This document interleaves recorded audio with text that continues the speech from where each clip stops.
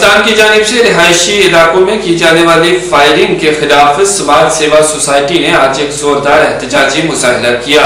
ان لوگوں نے پاکستان کا پتلا بھی چلایا اور وہاں کی آرمی اور حکومت کے خلاف زوردار نعرے بازی کی۔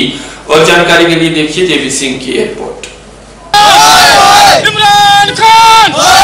عمران خان عمران خان پاکستان آرمی پاکستان کیا ہے خاص طور گاؤں دیہاتوں کے جو لوگ ہیں، بڑے پریشان ہیں، بڑے مشکل وقت سے ہم گزر رہے ہیں۔ اور ایک سائڈ ہماری انڈین آرمی جو ہے، پاکستان کو چھٹی کا تو یاد کرائے گی اور منہ توڑ جواب دے رہی ہے۔ اس میں کوئی دہرائی کی بات نہیں ہے۔ ہم سائیکل اینڈ ڈیفنس کے ناطے۔ ہمیں اتنا معلوم ہے کہ آج صبح پاکستان نے تین گولے داغے ہیں، لیکن ہمارے تیس گولے وہ پاکستان پر پڑے ہیں۔ یہ جو فائر ہوا ہے، وہ آبزرویشن فائر ہوا ہے۔ اس میں کوئی شک کی بات نہیں ہے، لیکن میں کیندر سرکار سے یہ ریکویسٹ کرنا چاہتا ہوں کہ پاکستان کے ساتھ یہ جو آنکھ مچولی کی جو گیم کھیلی جا رہی ہے پونچھ کا جو بزنس چل رہا ہے ٹریڈ کا ہو رہا ہے رہائی ملین چل رہی ہے۔ یہ ایک دھوکہ ہے ہمارے ساتھ۔ یہ پوری دیش کے ساتھ دھوکہ ہے۔ یہ کھوکھلا کر دے گا ہندوستان کو۔ ہندوستان ایک ایسا ملک ہے جس کے لیے ہمارے بزرگوں نے قربانی دی ہے۔ وہ قربانی آج ہمیں یاد آ رہی ہے۔ یہ جو پہاڑ ہمارے چاروں طرف ہے ان پہاڑوں کے اوپر ہمارے جو بزرگ ہیں، ان کا خون کا قطرہ قطرہ آج بھی ہمیں للکارتا ہے۔ اس میں کوئی دورائی کی بات نہیں ہے۔ ہماری جو سول پاپولیشن ہے، ہمارے جو نوجوان ہیں، جو ہمارے کاریہ کرتا ہے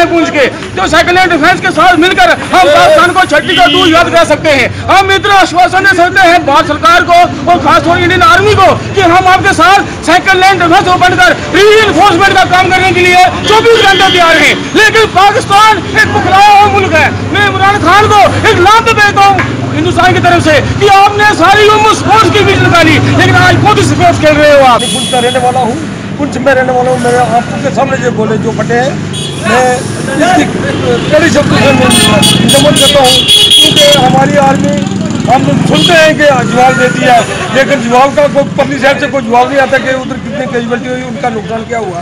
اس کے حساب سے چاہے کوئی جھاڑیوں میں پھینک رہے ہیں، یا کہیں پھینک رہے ہیں، جو کوئی پاکستان پورا ہمارے سامنے دکھائی دیتا ہے۔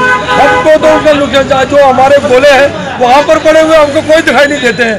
تو بڑی شرم کی بات یہ ہے کہ برگیڈ کر انڈین پولیس کے برگیڈ کے اوپر اگر پاکستان بم پھینکے، ڈائریکٹ ہٹ کرے ایکوریٹ ہٹ کرے۔ یا تو کوئی او پی ادھر سینٹر میں بیٹھا ہوا ہے، جو آرمی اس کو لک آؤٹ نہیں کر سکتی ہے وہ کہاں کہاں نہیں ہے۔ جہاں ہماری ایجنسیاں جو کمزور ہیں جہاں تو میں برگیڈ صاحب سے یہ ریکویسٹ کرتا ہوں، کیا آپ اسی طرح وہ پاکستان ہمارے اوپر گولے پھینکتا رہے گا؟ آپ دلی سے آرڈر کو دیکھتے رہیں گے، کیا آپ کے پاس عادت نہیں ہے؟ منہ توڑ جواب ایک بار دیا ہو۔ تو وہ اس کو پتہ چل جائے کہ انڈین آرمی کچھ کام کر دیا۔ اومکار سنگھ جی ہمیں یہ بتائیے ہمیں یہ بتائیے جو ہندوستان اور پاکستان میں جیسے ٹریڈ اور بس سروس چلتی ہے چلنی سب پھیل نہیں رہا یہ نہیں ہونا چاہیے۔